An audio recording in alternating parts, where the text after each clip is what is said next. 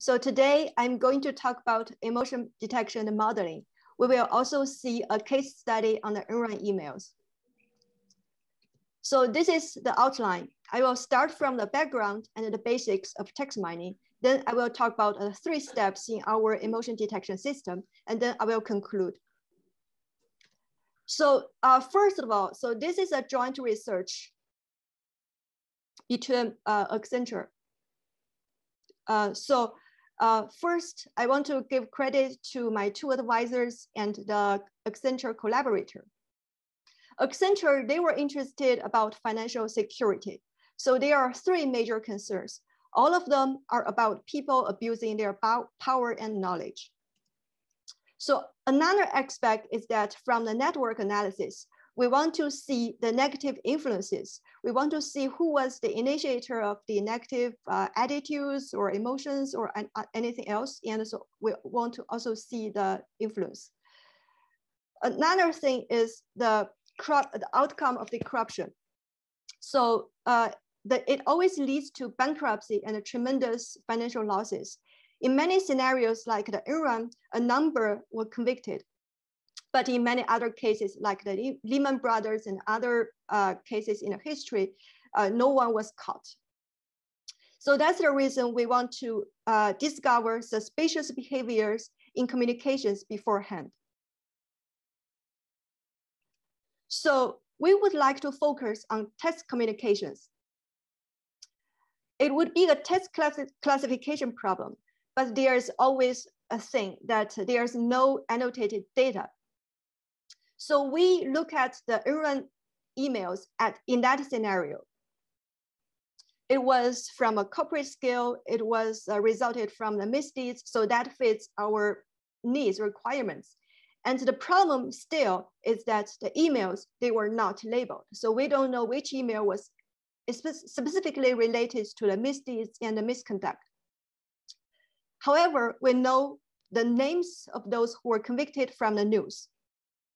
So we had a round of discussion to see how we should conduct analysis on a number of people there. And then we decide we should do em the emotion detection because it was related to the mental state, the same as the behaviors and actions. So that is the start of our research we got 22 the guilty from the news because they are they those are high ranked in a company in Enron corporate corporates. So we targeted on them and we also want to perform a fair comparison. That's the reason we select another 21 executives in the email. So there are 43 people of interest in total. Then it is about the text mining we do classification. We could do classification for emotion to assign emotion labels. This is a, this uh, slide shows a basic some basic concepts of uh, text mining. So first, we extract numerical features from the unstructured text. The typical methods, they are bag of words and word to vector. After that, we derive a feature document matrix, and then we input the matrix into machine learning for classification or regression. so then it is the typical, that, that slide was the typical machine learning based methods for emotion, for emotion detection. The, the, uh, the con is, the con is that uh, it is supervised. It requires uh, training data, of course. Um, the another part is that uh, the result might not be interpretable. So some, it is highly depends on the data, it's data driven. So sometimes it does not work on cross data, data on, on cross data sets. However, for the emotions, um, in our languages, we have emotion markers. For example, I say, I'm happy to talk here today, and the happy is a key lexicon here and indicates my emotion state. So that's uh, make the lexicon-based emotion detection possible and accurate. So that, but still there's our pros and cons. So first, it is uh, the best uh, positive side, it is unsupervised. So we, we don't rely on data, uh, training data.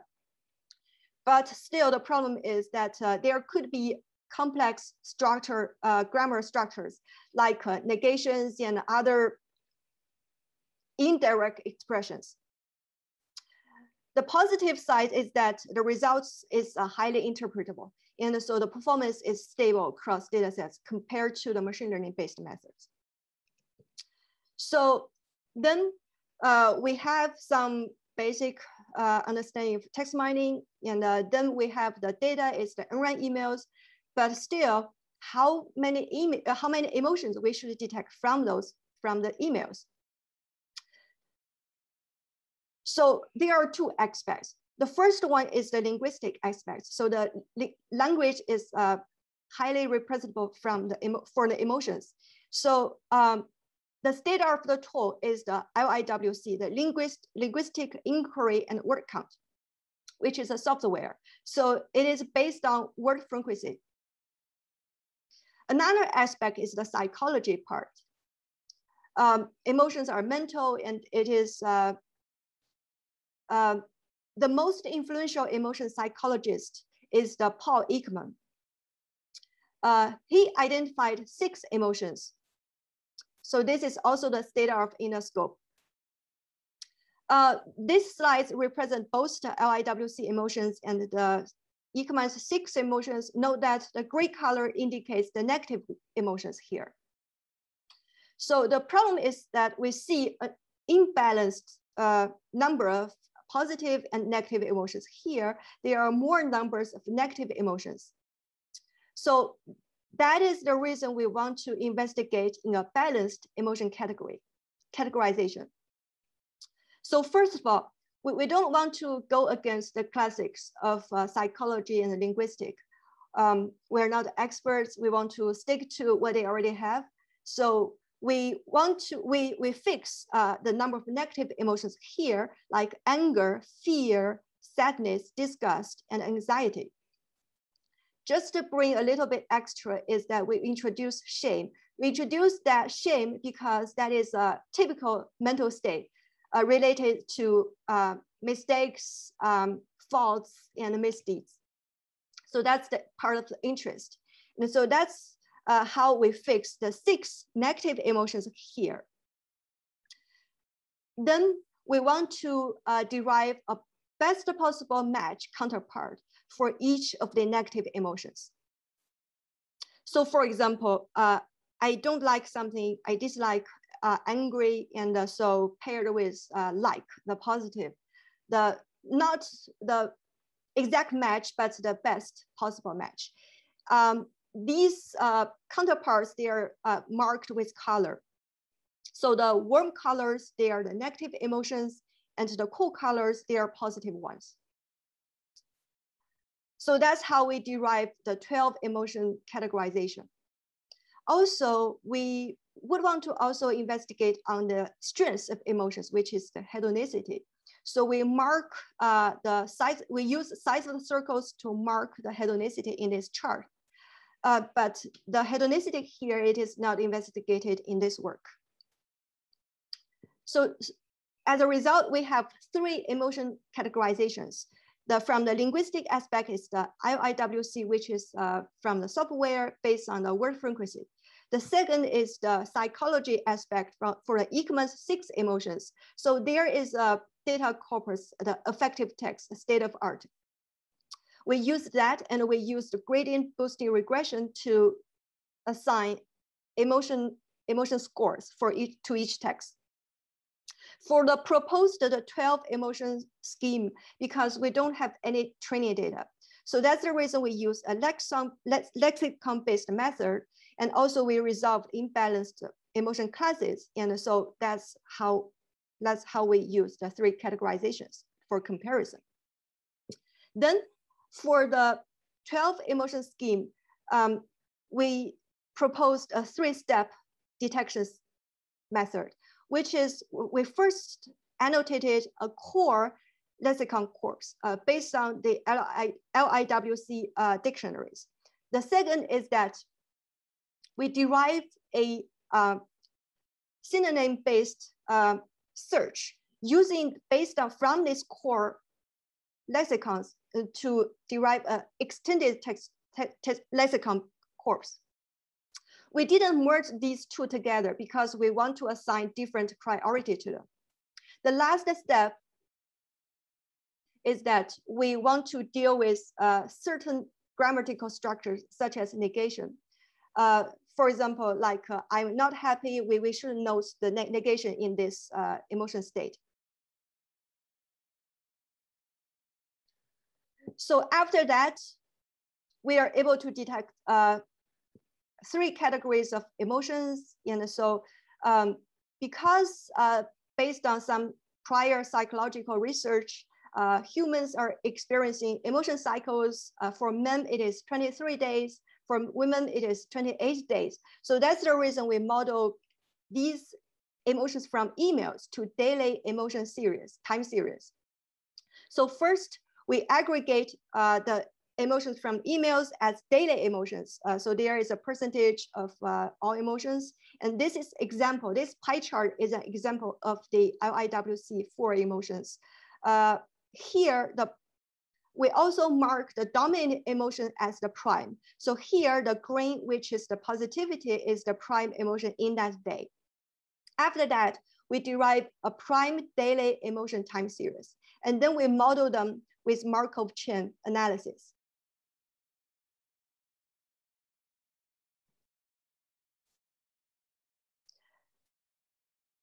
So in this, uh, after we get the time series Markov chain, and we want to study the transitions. Here we define two metrics. One is the running time, which is defined as the number of uh, repetitions after the first occurrence, which is the three in this case. Another is the hitting times, which we define as the number of transitions till the first visit, which is four in this case. Um, there's another way to define this uh, four as the running time and the three as the hitting time, just as interval for this. And so, but it does not matter because we want to do a comparison for different people. And so it's a relative value that matters. So then we perform uh, this uh, running time and hitting time analysis for all 43 persons of interest. So this slide uh, shows the running times and the hitting times of the guilty and the non-guilty. Note that uh, NA here is the no emotion state. So the first chart is the LIWC's four emotions. We see that the negative emotions here, they share some patterns, but the positivity, it stands out differently.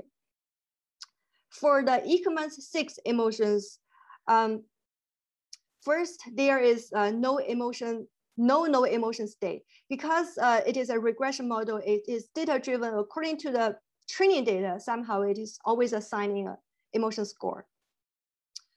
Um, then we see that for uh, joy, uh, it appears differently from positivity here.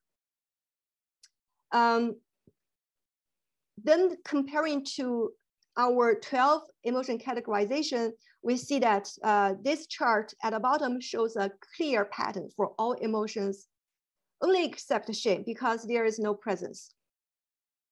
So first of all, is that um, we see more frequent transitions for the guilty. So which is uh, the longer, uh, with a shorter running time and a short, shorter hitting times. And the second is uh, the longer revisits for the non-guilty. So which is the dark blue bar across almost all emotions. The third is the longer duration of joy for the non-guilty. So here, uh, this is a bit contradicted to the Ekman's emotion, but the I, I think the major reason is because here joy is more aggregated towards all positive emotions. So after uh, the transition study, we turn to steady states. Uh, steady states, uh, steady state probability distribution would indicate uh, some sometimes personality. Some people are always being happy, they're optimistic, and they're always happy. And sometimes uh, it could indicate mental health. So like a, a person with depression and uh, he always uh, she, he or she always sees everything as possibly unhappy. So this slide investigated uh, the both uh, steady states distributions of the guilty and non-guilty. First is the LIWC's four emotions. So we, we only see a slight difference between the guilty and non-guilty. Second, for the Ekman's six emotions, we see some differences for fear and the guilty, they are inclined to be more fearful and to be less sadness, but uh, it is also data driven. So the result is not guaranteed here to be accurate. It's not guaranteed to be accurate. So for the uh, 12 emotion scheme, we saw more differences here. So the first is that the guilty exhibit less emotional occurrence.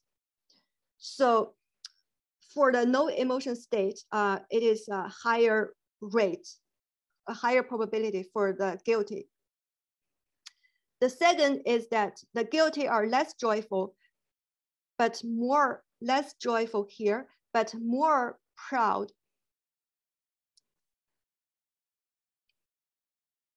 And more content. The third is that the guilty experiences uh, less anger, less disgust, less fear, um, and more sadness. So these are for the negative states. Uh, then we come to stability. We want to see whose emotional state are more stable. So we use entropy rate for analysis as, as a metric. So here, because um, the entropy rate or the source information rate, it indicates that um, a higher, a higher source information rate indicates that it is less random, it is more stable, and a lower source information rate indicates that it is more random, it is less stable. So here in the entropy rating, we could see that uh, with the 12 emotion categorization, uh, there's a clear pattern that the guilty are less stable and the non-guilty are more stable with a higher entropy rate. So after that, because it is about uh, institute, about uh, organization, we have uh, many people there. We want to do a ranking based on their emotional uh, behaviors. And so uh, we conducted an emotion match between every two persons. So this diagram shows uh, for the LIWC's four emotions. Uh, so for each emotion between the every two pair of persons, uh, we conduct we conducted four emotional matches. No that the no emotion state we we discard them. We didn't use them in this emotion match, and so it could also be scaled up to six emotions and 12 emotions similarly. Um, also, we use the Colley rating computation method. Uh, so if you watch soccer, uh, you should know that how teams are being rated and ranked in the games. And so it's, uh, it's a typical method.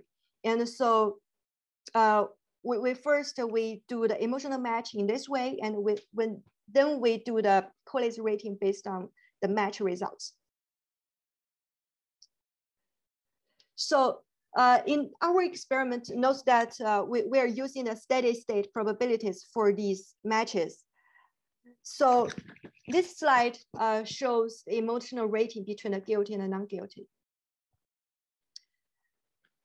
From here, we see that uh, the LIWC also shows that the non-guilty, they are uh, more likely to be ranked higher. Uh, for the Ekman's six emotions, it is similar.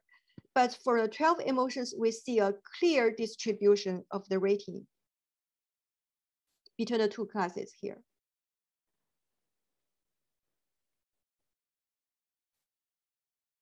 So the, the results for the rating indicates that uh, the guilty, they are less emotional in general. So once we do, uh, we did the rating, we could also do ranking. Um, so it's similar to the rating that uh, we could see the non-guilty, they are being ranked higher because they are more emotional. So the re result is similar to the ratings.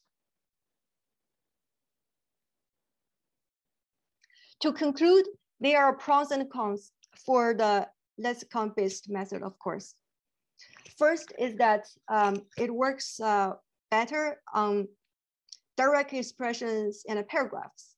Uh, for paragraph, it, for paragraphs, it is because they are repetitions. So certain uh, minor indirect expressions are being overwritten and being override by the large statistics. And so another part is that uh, we defined, redefined the 12 emotion categorization, and that is able to reveal uh, more psychological details. And also, uh, we, we've seen distinct patterns for the guilty and non-guilty on the Enron emails. Some future work uh, not being done within this work is that the first is hedonicity. It could be addressed with some detailed annotation of uh, lexicon dictionaries or annotated data with machine learning. The second is that the method could also be polished uh, with uh, the new advances of uh, GPT, the transformers, and uh, also with uh, more some annotated data for hybrid uh, detection, it could be more accurate. The third is that uh, the network analysis of emotion flows uh, was not addressed in this work and could be addressed in the future. So then it is the application. So uh, this work was derived as, was concluded as a Python package. We expect it to be utilized for studies um, depression, mental health, social media, etc. I hope it for could we hope it could be uh, could bring insights for other studies. That's all. Thank you.